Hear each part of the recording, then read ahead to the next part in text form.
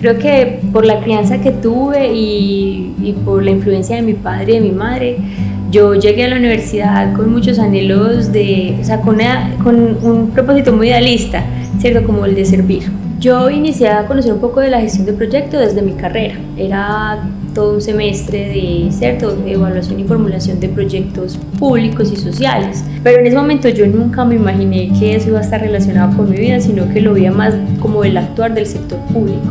Cuando yo salgo de la universidad y me enfrento por primera vez a la vida laboral, para mí fue una crisis, creo que fue mi primera y única crisis existencial, de sentir que mi personalidad, mis formas o lo que yo quería para mi vida se alejaba mucho de una vida laboral como se constituye normalmente, de cumplir un horario, de tener que asumir ciertos roles con tus jefes y tus compañeros.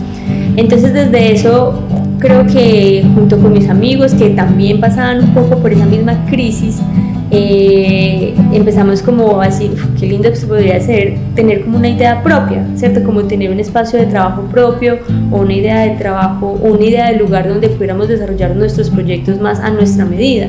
Incluso hace poco en un trasteo re viejo que mi mamá me dijo, saque ya acá a la casa, encontré un cuaderno que estaba en ese momento en la universidad, como yo creo que en mi quinto, sexto semestre, donde yo básicamente expongo lo que hoy en día es Cuyay, ¿cierto? Como de tener una organización no gubernamental o sin ánimo de lucro, donde el arte fuera como esa herramienta o esa metodología para poder acercarse a lo social o hacia o la metodología para poder acercarse al territorio.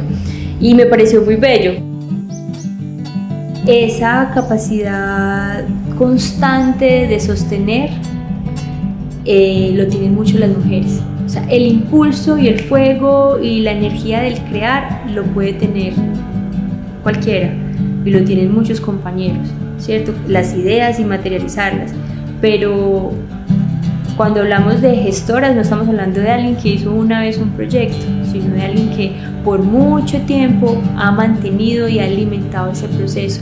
Y yo creo que, y reconozco más ese ejercicio en las mujeres, como en la constancia. Una de ellas, y creo que ella ni siquiera lo sabe, es Viviana Ángel. Viviana fue una persona que me inspiró muchísimo, ¿cierto? Como de también entender la ciudad como ese objeto donde el arte puede estar porque ella vive, si solo conversar con ella es conocer un montón de la historia de Pereira, ver sus obras. Para mí el agua es como un ritual de autocuidado para poder descargar. Yo siento que cuando yo termino de nadar y llego así como la mente me queda en, en blanco. Entonces cuando muchas veces el trabajo, los conflictos o las situaciones también de pareja, porque pues esto se recarga por muchas partes, es como el nado lo que me logra como poner en blanco. Y creo que cuando uno está en esa condición, se es más creativo. O sea, yo siento que todo fluye más y que también logro materializar, porque es que gestionar es poder materializar, porque ideas hay un montón.